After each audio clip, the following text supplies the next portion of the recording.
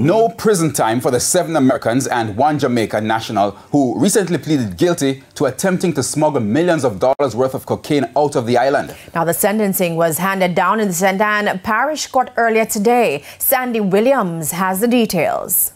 Instead of prison time, the eight people, seven Americans and one Jamaican, were slapped with hefty fines. The fines were for possession and attempting to export cocaine. Haley Lawrence was fined $850,000 or six months for possession and $30,000 or six months for taking steps to export. Kaylee Hall, 1 million or 11 months for possession and $30,000 or 9 months for taking steps to export cocaine. Tishina Bryson was fined $1.2 million or 11 months in prison.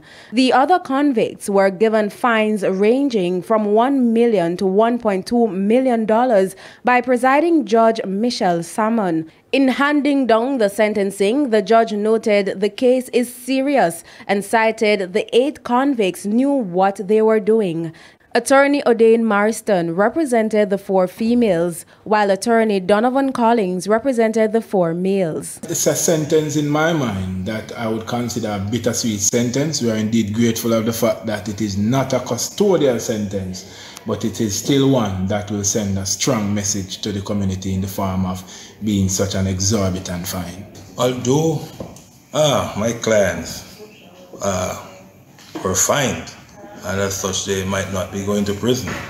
It is clear that based on the level of fines that this should serve as a deterrent to other persons who might want to involve in matters of this nature. The eight drug traffickers were caught attempting to smuggle 17 kilograms of cocaine with a street value of $130 million onto a cruise ship docked in Ocho Rios, St. Ann last month. The police say they were all passengers. Sandy Williams, TVJ News.